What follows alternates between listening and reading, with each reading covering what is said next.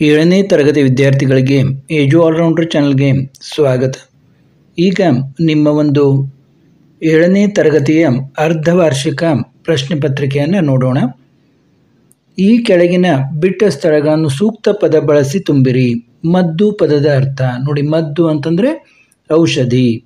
ಪ್ರೀತಿ ಪದದ ಸಮಾನಾರ್ಥಕ ಪದಗಳು. ನೋಡಿ, ಪ್ರೇಮ, ಕಾಳಜಿ ಅಂತೆಲ್ಲ ಹೇಳ್ಬೋದು ನಾವು. ಏಕೈಕ, ಏಕ ಪ್ಲಸ್ ಏಕ. ನೋಡಿ, ಅ ಪ್ಲಸ್ ಐ. ಐ ಅಂತ ಆಯಿತು, ಏಕೈಕ. ಇದು ವೃದ್ಧಿ ಸಂಧಿ ಅಡ್ಡದಾರಿ ಹಿಡಿ, ನುಡಿಗಟ್ಟಿನ ಅರ್ಥ.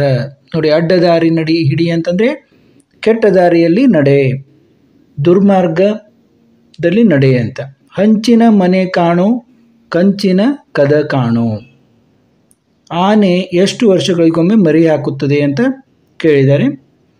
ಕಚಟ ತಪಗಳಿಗೆ ಗಜಡದಬ ಆದೇಶವಾಗಿ ಬರುವಂತಹ ಸಂಧಿ, ಆದೇಶ ಸಂಧಿ. ಅಲ್ಲಿಯೇ ನಿಮಗೆ ಉತ್ತರ ಸಿಕ್ಬಿಡ್ತದೆ. ಕಚಟ ತಪಗಳಿಗೆ ಗಜಡದಬಗಳು ಬರುವುದು ಆದೇಶ ಸಂಧಿ. ಗಹನ ತನ್ನ ಪುಸ್ತಕವನ್ನು ಕಳೆದು ಬಿಟ್ಟಳು ಈ ವಾಕ್ಯದಲ್ಲಿರುವ ಆತ್ಮಾರ್ಥಕ ಸರ್ವನಾಮ ತನ್ನ ತನ್ನ ಅನ್ನುವುದು ಇಲ್ಲಿ ಆತ್ಮಾರ್ಥಕ ಸರ್ವನಾಮ.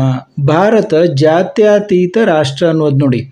ಇಲ್ಲಿ ವಾಕ್ಯವನ್ನು ಸರಿಪಡಿಸಿದಾಗ ನೋಡಿ ಭಾರತ ಭಾ ಅಂತ ಮಹಾಪ್ರಾಣ ಆಗಬೇಕು. ಜಾತ್ಯಾತೀತ ಇಲ್ಲಿ ತೀತ ಅನ್ನುವಲ್ಲಿ ತೀ ಮುಂದೆ ದೀರ್ಘ ಬರಬೇಕು. ರಾಷ್ಟ್ರ ನೋಡಿ ಸ್ತ್ರ ಸ್ಟ್ರ ಆಗಿದೆ. ಇದರಲ್ಲಿ ಅಲ್ಲಿ ನೀವು ಶ ಬರೆದು ಟ ಕೊಟ್ಟು ಹೀಗೆ ರ ಬರಿಬೇಕು. ರಾಷ್ಟ್ರ ಅಂತ ಬರೀಬೇಕು. ಭಾರತ ಜಾತ್ಯಾತೀತ ರಾಷ್ಟ್ರ ಅಂತ ಸರಿ ಮಾಡಿ ಬರಿಬೇಕು. ಈ ಕೆಳಗಿನ ಪ್ರಶ್ನೆಗಳಿಗೆ ಒಂದು ಪದ ವಾಕ್ಯದಲ್ಲಿ ಉತ್ತರಿಸಿರಿ ಅಂತ ಕೇಳಿದ್ದಾರೆ. ಒಂದೊಂದಕ್ಕೆ ಒಂದು ಅಂಕ. ಕಡಲುಕ್ಕುವ ಚೇತನ ಎಲ್ಲಿ ಕಂಡು ಬರುತ್ತದೆ ನೋಡಿ ಗಿಡಮರ ಪದ್ಯದಿಂದ. ನೋಡಿ ನಮ್ಮ ಚಾನೆಲ್ನಲ್ಲಿ ಈಗಾಗಲೇ ಎಲ್ಲ ಪಾಠ ಪದ್ಯಗಳನ್ನು ಮಾಡಿದ್ದೀವಿ. ನೀವು ಉತ್ತರಗಳನ್ನು ಕೂಡ ಅಲ್ಲಿ ನೋಡ್ಕೋಬೋದು. ಬಳೆಗಾರ ಎಲ್ಲಿಗೆ ಹೋಗಿ ಬರಬೇಕೆಂದು ಹೆಣ್ಣು ಹೇಳುತ್ತಾಳೆ? ತವ್ರ ಮನೆಗೆ ಹೋಗಬೇಕು ಅಂತ ಹೇಳ್ತಾಳೆ. ಹೊನ್ನು ವಸ್ತ್ರ ಎಲ್ಲಿ ಬಿದ್ದಿದ್ದರೆ ಕೈ ಮುಟ್ಟಿ ಎತ್ತುವುದಿಲ್ಲ. ನೋಡಿ ಹೊನ್ನು ವಸ್ತ್ರ ಎಲ್ಲಿ ಬಿದ್ದಿದ್ದರೆ ಕೈ ಮುಟ್ಟಿ ಎತ್ತುವುದಿಲ್ಲ ಅಂತ ವಚನದಲ್ಲಿ ಹೇಳ್ತಾರೆ. ಈ ಕೆಳಗಿನ ಪ್ರಶ್ನೆಗಳಿಗೆ ಎರಡು ಮೂರು ವಾಕ್ಯಗಳಲ್ಲಿ ಉತ್ತರಿಸಿರಿ. ನೋಡಿ, ಒಂದೊಂದಕ್ಕೆ ಎರಡು ಅಂಕ. ಶಲ್ಯ ದುರ್ಯೋಧನಿಗೆ ನೀಡಿದ ಭರವಸೆಗಳೇನು? ಯಾರ ಮಾತಿನಂತೆ ಮನ ಇಲ್ಲ, ಏಕೆ? ಮಕ್ಕಳು ಸಸಿ ಕಿತ್ತ ಬಗೆ ಹೇಗಿತ್ತು? ಜಿರಾಫೆ ಹೇಗೆ ಆಹಾರ ಸ್ಪರ್ಧೆಯಲ್ಲಿ ಯಶಸ್ವಿಯಾಗುತ್ತದೆ? ಹರನು ತನ್ನ ಭಕ್ತರನ್ನು ಯಾವಾಗ ಕರಬಿಡಿದು ಎತ್ತಿಕೊಳ್ಳುವನು? ಕಾಡು ಅಥವಾ ನಮ್ಮ ಪರಿಸರ ಕುರಿತು ಕಿರು ಪ್ರಬಂಧ ಬರೆಯಿರಿ.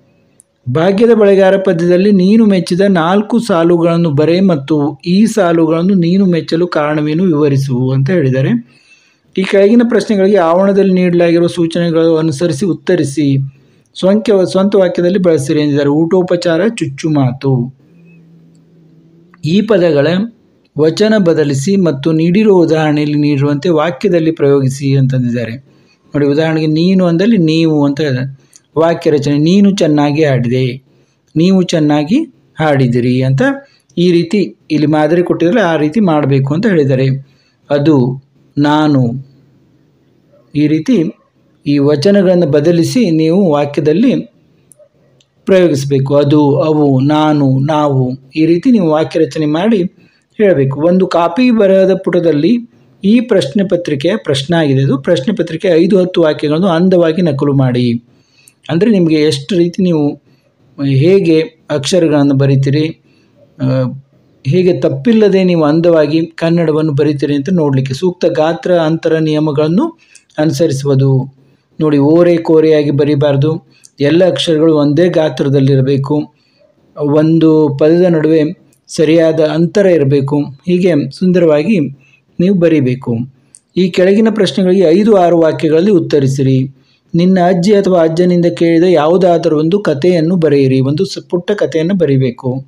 ಐದಾರು ವಾಕ್ಯದಲ್ಲಿ, ಎರಡು ದಿನ ರಜೆ ಕೋರಿ ನಿಮ್ಮ ಶಾಲಾ ಶಿಕ್ಷಕರಿಗೆ ರಜೆ ಅರ್ಜಿ ಬರೆಯಿರಿ. ನೋಡಿ, ಒಂದೊಂದಕ್ಕೆ ಇಲ್ಲಿ ನಾಲ್ಕು ಅಂಕ. ಇಲ್ಲಿಗೆ ಈ ಒಂದು ಪ್ರಶ್ನೆ ಪತ್ರಿಕೆಯನ್ನು ನೋಡಿದೆವು.